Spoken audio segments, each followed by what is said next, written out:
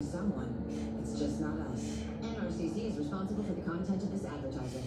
We're all sick of COVID-19, but it was the third leading cause of death in the U.S., and it's still making people really sick. The COVID-19 updated boosters are here. They help protect